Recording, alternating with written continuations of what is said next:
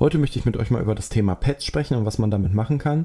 Hauptsächlich denkt man da ja an eine MPC und dass man da Samples drauflegen kann. Das kann man auch machen, das zeige ich euch in einem anderen Video.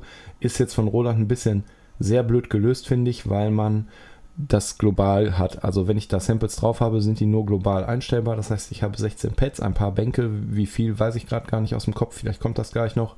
Sonst machen wir das in dem Video. Aber das ist aus meiner Sicht total bescheuert und da gibt es keinen sinnvollen Grund, das so zu machen. Samples und gerade für die Pads gehören auf Performance-Ebene, damit man da einfach pro Performance weiß, was man hat und nicht irgendwie hin und her schalten muss. Und es ist einfach sehr, sehr ungeschickt. Vor allem, weil da der große Samplespeicher drauf ist und für die Tones, wo man eigene Samples verwendet, der kleine Samplespeicher. Also es gibt zwei separate Samplespeicher im Roland Phantom. Das ist beim großen genauso wie beim kleinen. Die tun sich da nichts. Und das ist einfach, ja, nicht glücklich gemacht. Was ich aber heute mit euch machen möchte, ist einfach mal den, die Pad-Modes durchgehen, was man da machen kann. Und zwar gibt es hier diesen lustigen Knopf, das ist der zweite von oben, der heißt Pad Mode. Und wenn man da draufklickt, jetzt gehen wir mal zum Bildschirm rüber. Ihr seht ja schon, da hat sich die Farbe geändert. Und ich würde jetzt einfach mal immer hin und her, äh, zwischendurch mal hin und her schwinken. Jetzt seht ihr, was man alles mit den Pads machen kann. Da, da kann man nicht noch ein bisschen mehr mitmachen als nur Samples antriggern. Ich gehe jetzt nur auf ein paar Sachen ein, und zwar die, die mir jetzt helfen, das, den Phantom zu kontrollieren und Sachen einzustellen, weil die Programmierung finde ich noch ein bisschen gewöhnungsbedürftig. Ich finde die gut, finde die auch einfach, aber der Workflow ist für mich noch nicht ganz so drin. Ich weiß von Kollegen, die den oder den großen haben, dass das besser geht. Da muss ich mich noch ein bisschen reinfuchsen. Aber ich fange jetzt einfach mal an. Also ihr könnt hier auswählen, was ihr macht mit dem Sample Pad. Und das Schöne ist, oder mit den Pads, das Schöne ist, ihr seht jetzt hier Sample Pad. Wenn ich auf das erste Sample Pad draufklicke, dann seht ihr auch, dass das ähm, rüber gechanged ist zum Sample Pad Mode. Man kann hier auf Editieren klicken. Und ja, ist eine gute Frage, was man da machen kann. Da kann man wahrscheinlich. Okay, das machen wir in einem anderen Video, was man damit machen kann. Das muss ich tatsächlich erst nochmal rausfinden. Kurios, passiert irgendwie gar nichts. Aber egal.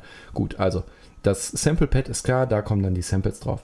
Das Notepad, ich klicke jetzt einfach mal drauf, dass ihr das seht, was man da machen kann. Wenn man jetzt Shift und Pad Mode drückt, dann kommt man in das Menü rein. Hier sieht man, dass da zum Beispiel einzelne Noten hinterliegen, die sich jetzt auf ein Schlagzeug beziehen. Also Shift, gehen wir auch nochmal in einem anderen Video drauf ein, ist immer eine gute Hilfe. Beziehungsweise zeigt noch mehr Menüs auf. Jetzt klicken wir nochmal auf den Pad Mode. Dann, das ist das Interessante hier, Partial Switch und Partial Select. Ich gehe jetzt einmal hier rüber Ihr seht jetzt, dass sich die Farben verändert haben und zwar in Rot und in Gelb. Und ich kann jetzt hiermit die Partials steuern. Also mit Rot schalte ich die Partials ein und aus. Ich zeige das gleich nochmal auf dem Bildschirm. Und hiermit wähle ich an, welche ich verändern will. Und wenn ich alle gleichzeitig drücke, kann ich alle vier verändern. Jetzt zeige ich euch das einmal auf dem Bildschirm. Und zwar gehen wir jetzt über das Menü, Tone Edit, hier in die Partials rein und jetzt mache ich einfach mal die roten aus. Kann ich ausmachen. Jetzt drücke ich den linken gelben. Damit ist nur der aktiviert. Damit kann ich die Partials wunderbar steuern. Das ist total super, wenn man den Sound am Editieren ist. Wenn wir jetzt auf Pad-Menü klicken, dann kann man hier die DAW-Control einstellen. Da bin ich tatsächlich noch nicht drauf gewesen. Jetzt drücken wir wieder mal Shift und nochmal Pad. Und das scheint nur zu funktionieren, wenn man mit dem PC connected ist. Das bin ich jetzt nicht. Gehen wir wieder auf den Pet Mode, dann kann man die Zonen muten.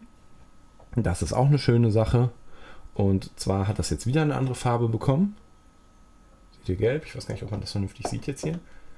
Ja, sieht man.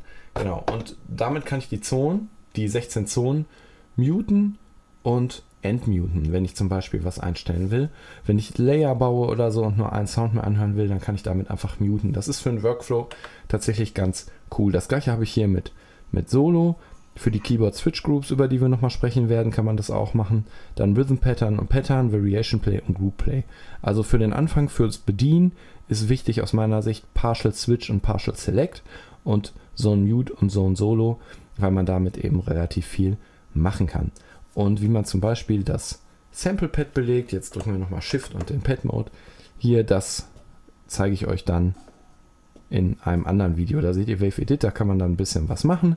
Das kennt man von anderen Geräten von der DAW, aber da gehen wir in einem anderen Video drauf ein, wenn wir mal Samples in das Gerät laden. Also ihr habt jetzt grob gesehen, was man mit den Pads machen kann, dass man damit einiges bedienen kann. Damit kann man sich das unnötige Gedrücke auf der linken Seite sparen, womit man im Prinzip auch all das machen kann oder auf dem Monitor, auf dem Touchscreen. Und genau, so viel dazu erstmal für heute für einen leichten Einstieg.